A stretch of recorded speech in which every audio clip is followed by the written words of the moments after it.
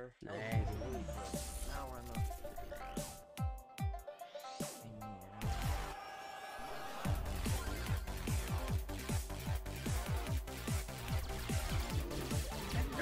the.